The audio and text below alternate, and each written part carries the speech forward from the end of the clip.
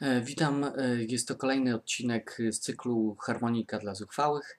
E, Chciałem się dzisiaj z Wami podzielić informacjami, na jakich harmonikach gram, jakie stosuję do nagrań, jakie stosuję do ćwiczeń, no i ogólnie jakie, jakie instrumenty preferuję. Mam tu ze sobą cały taki piórnik, można powiedzieć, harmonijek. On jest, o, tak będzie lepiej widać.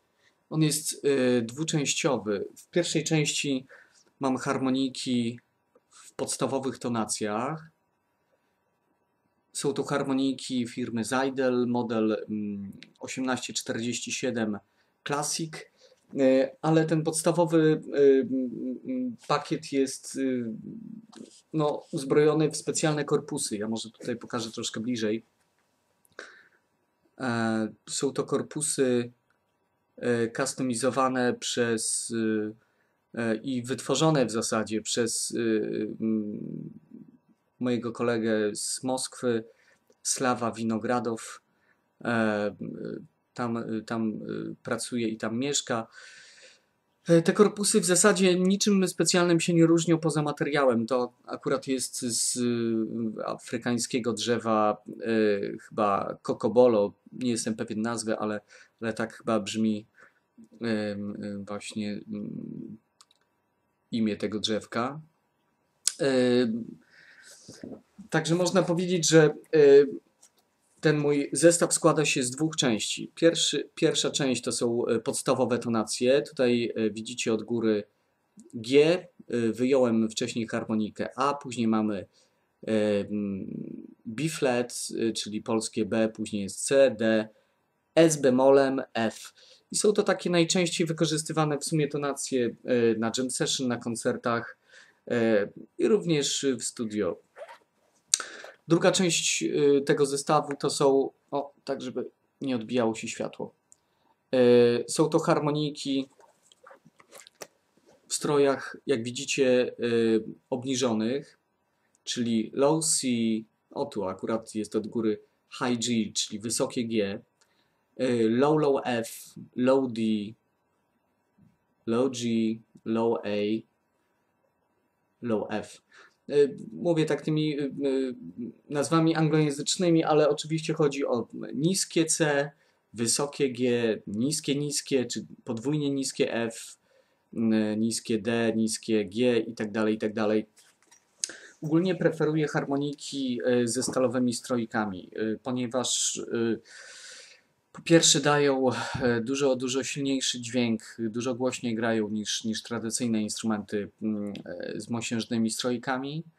E, Po drugie są, a to w zasadzie jest po pierwsze, bo na tym najbardziej wszystkim zależy, że są dużo, dużo bardziej trwałe niż, niż inne harmoniki ze zwykłymi strojkami. Poza tym ym, ja strasznie nie lubię, szczerze mówiąc, grzebać przy tych harmonikach i i jak raz y, je sobie tam jakoś wyreguluję do, do swoich potrzeb, to już chciałbym mieć je po prostu na, na dłużej, a nie e, cały czas zmieniać te, te harmoniki, znowu stroić, regulować i tak dalej, i tak dalej, bo nie mam na to czasu ani ochoty.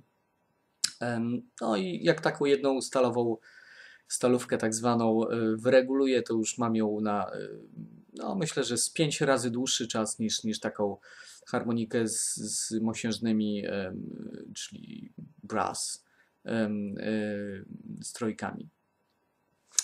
Jeśli chodzi o harmonikę chromatyczną, bo, bo też na takiej grywam, jest to model y, Zeidel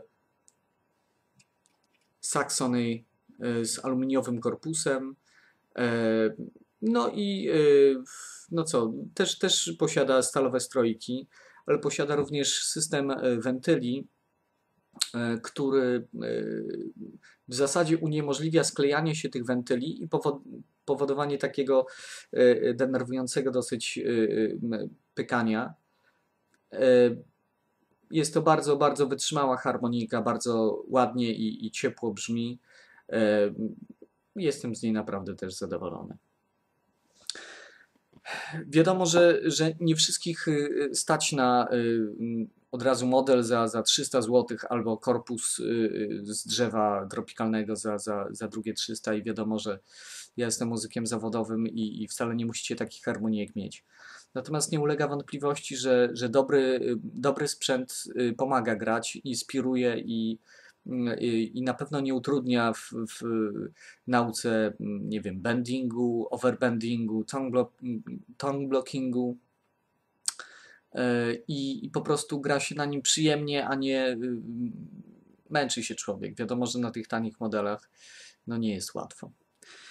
Natomiast y, wcale, wcale nie trzeba od razu kupować modelu za, za 300 zł. Są, są modele, które są bardzo przyjemne do grania, na przykład Suzuki Harpmaster w cenie podejrzewam, że około 80 zł teraz. Mm, Golden Melody, Special 20, Y, można też, jeśli ktoś chciałby na przykład zainwestować w, harmonikę Zajdel, można kupić, tu akurat nie mam pod ręką, model Blues Session.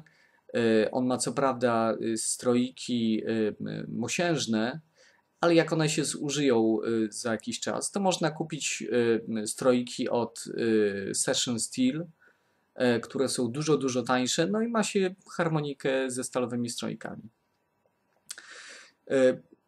Nie mówię, które harmoniki są najlepsze, mówię, które, które ja preferuję. Mówię o tym, dlaczego ja akurat na nich gram. One mi najbardziej odpowiadają.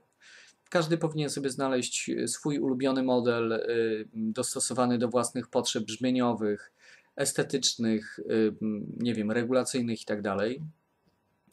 Także no, trzeba, trzeba na tych kilku harmonikach zagrać, żeby stwierdzić, że, że, że, że faktycznie to jest ten mój ulubiony model i po prostu trzymać się już, już tego modelu, e, specjalizować się w nim i, i, i pewnie nawiązać z nim jakąś tam nić e, emocjonalną.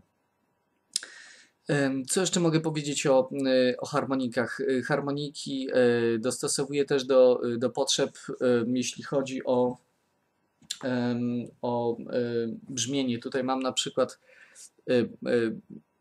korpus z Favorite Blues, czyli aluminiowy. Natomiast pokrywy są od 1847. No i to jest taki, taka, taka hybryda, można powiedzieć, która E, która mi brzmieniowo odpowiada, ponieważ aluminiowy korpus daje troszeczkę bardziej jasne brzmienie i przy tych niskich tonacjach to, to się sprawdza. Po prostu harmonika trochę bardziej jasno i klarownie brzmi, bardziej się przebija w, w zespole. Mm, natomiast jeśli chodzi o, mm, o brzmienie tych bardzo wysokich harmonijek, o, tutaj akurat mam y, Blues Session, tonację wysokie G i y, jest to, jest to harmonika z plastikowym korpusem. y, i z pokrywami takimi bardziej zamkniętymi. Daje to trochę takie cieplejsze brzmienie i nie jest aż taka mm, agresywna w tym, w tym brzmieniu, a brzmi naprawdę wysoko. Może zrobimy kolejny jakiś odcinek o brzmieniach y, i o różnych takich dziwnych strojeniach, to wtedy zademonstruję, jak ona brzmi. Gdybyście mieli jakieś pytania e, co do, co do harmonijek, to e, piszcie, pytajcie. Postaram się w miarę skromnych moich możliwości czasowych odpowiedzieć.